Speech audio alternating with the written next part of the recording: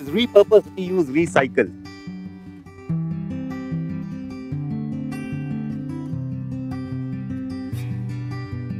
One of the questions that comes is how can I get something for a vertical garden, something for my wall where I can put plants, right?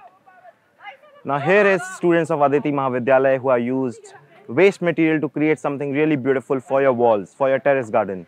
So let's start and let's look at that. So this is a tire which is normally wasteful and then you have a rope, very simple rope but together they look beautiful and our all-time favorite money plant pothos in it. Extremely brilliant.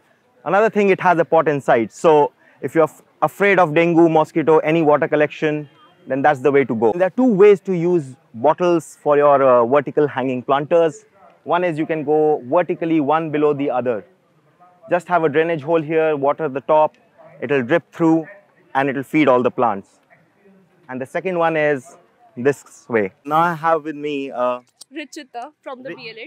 yeah, so Richita is going to tell us about uh, this Aditi Mahavidyalaya's uh, installation. We had come with a new idea how we can use the plastic bottles, glass bottles, the tires, or the junk chairs which we normally throw. Right. But in this, we have made a new innovation. You can these in the decoration for the drawing room, and now you can see that how comfortable it is. Right. Gardening you can make more beautifully. Plants are the already beautiful things of the nature, Right, so right. children will enjoy making it. If your reason to garden is to make a change towards environment, another way you can do it is to use something which is making it bad and use it in something that's going to make it better.